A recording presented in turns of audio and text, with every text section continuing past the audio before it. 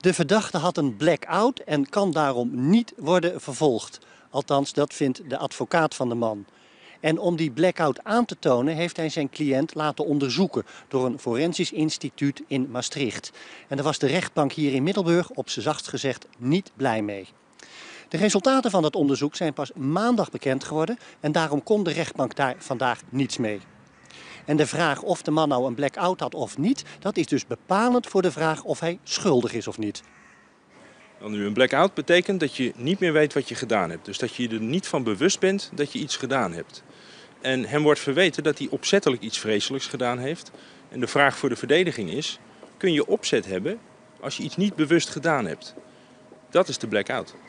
En dan zou het dus zo kunnen zijn, als hij niet weet wat hij gedaan heeft, dan zou hij moeten worden vrijgesproken in uw optiek. Als straks vaststaat in rechten dat hij niet wist wat hij deed, dat dan volgens mij de opzet niet bewezen kan worden. En dat dat, hoe gek het ook klinkt, tot een vrijspraak zou moeten leiden.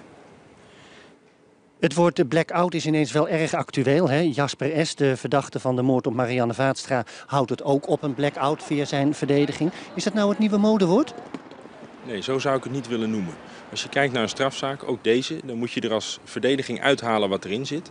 Uh, rechtbank en officier van justitie kijken naar waarheidsvinding. Verdediging kijkt naar het beste voor een cliënt.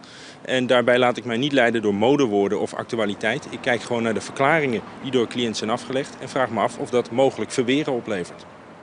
Wat er nu is afgesproken is dit. Het onderzoek door de deskundige in Maastricht, dat wordt op zijn beurt weer onderzocht door deskundigen van het Pieter Baan Centrum in Utrecht. En daarna bepaalt de rechtercommissaris wat er verder gaat gebeuren.